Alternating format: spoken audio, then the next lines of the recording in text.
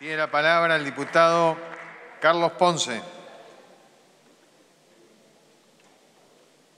Presidente, eh, compañeros diputados y diputadas, bueno, estamos tratando en este recinto el proyecto del tratamiento del presupuesto nacional 2021, la ley de leyes.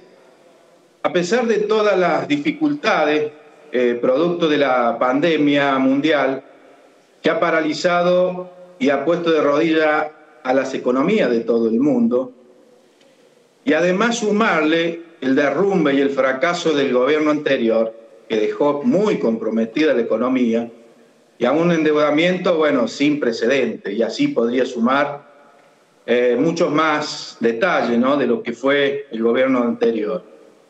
Pero voy a centrarme en lo que es el presupuesto, eh, señor presidente, y la verdad que celebro y por supuesto que anticipo mi voto afirmativo a este presupuesto que tiene un fuerte sentido del federalismo. Mire, presidente, yo interpreto que este presupuesto como es el presupuesto de la esperanza y de los sueños de millones de argentinos.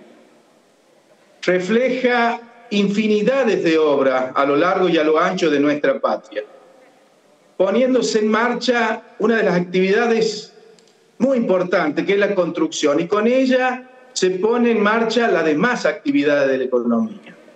En este presupuesto vemos rutas, autopistas, acueductos, cloacas, agua potable, vivienda, conectividad, etcétera, etcétera, que se convierte en calidad de vida para nuestros hermanos, incrementándose la partida presupuestaria al doble del presupuesto anterior en infraestructura. Esto significa recuperar miles y miles de puestos de trabajo para nuestros hermanos argentinos.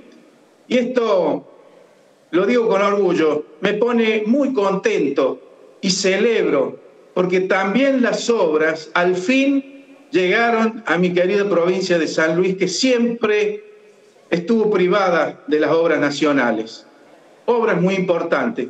Reitero, acueducto, puente, autopista, recuperación de ferrocarriles, etcétera, que significa muchísimo para nuestra economía. Además, por supuesto, de haberse encaminado y avanzado en el acuerdo para el cobro de la deuda de San Luis.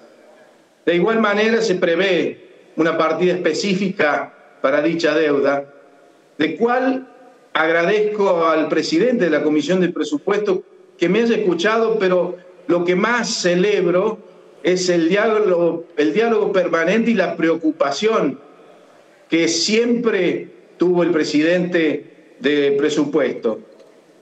Bueno, además, por supuesto, resaltar que ya lo han dicho mis compañeros sobre lo que es el incremento de casi un 50% en lo que es salud pública, innovación y desarrollo, 160% por por resaltar algunos ítems tan importantes, inclusión social, casi el 50% de incremento.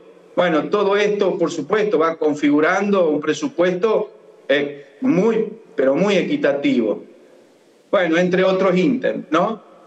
Ahora yo me pregunto, y nos deberíamos preguntar todo, si este presupuesto hubiese sido posible con este criterio, sin que se haya podido lograr la exitosa gestión de reestructuración de la deuda externa llevada adelante por el gobierno nacional. Y todos sabemos que sin el acuerdo hubiese sido imposible y la mayoría, mayoría de estos recursos hubiesen sido destinados al pago de la deuda. Y es cierto que es insuficiente el presupuesto escuchando a muchos de los diputados, pero ¿qué esperábamos luego de la pandemia y que recién planteábamos sobre el gobierno anterior y de las dificultades que el gobierno actual recibió el gobierno. Por supuesto que es imposible poder satisfacer a todo. Aunque debo decir y aclarar que vengo de una provincia que no toma deuda. Estamos en total desacuerdo en el endeudamiento. Y siempre hemos sido críticos, porque después quien paga con sudor y sangre esa deuda es el pueblo argentino, con la gravedad que nunca se sabe cuáles, son, cuáles fueron los destinos de esos fondos.